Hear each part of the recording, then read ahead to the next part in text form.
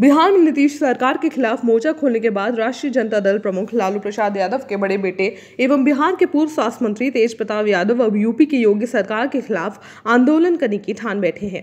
उन्होंने ट्वीट कर इस बात के संकेत दिए हैं। उन्होंने लिखा कि मथुरा में यमुना का जो हाल है, उसमें अगर जल्द सुधार नहीं आया तो यूपी सरकार के विरोध में जल्द आंदोलन करूँगा।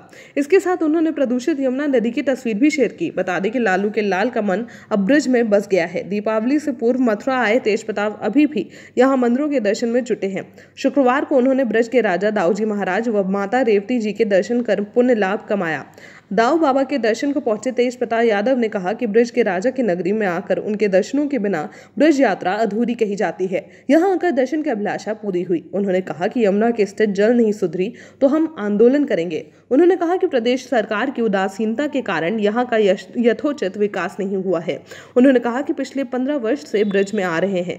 इस मिट्टी में जो प्रेम है, वह नसीब वालों को ही मिलता है। दाऊजी महाराज के दर्शनों के बाद वे रमेश बाबा के ब्रज चौरासी कोस के पड़ाव स्थल पर पहुँचे।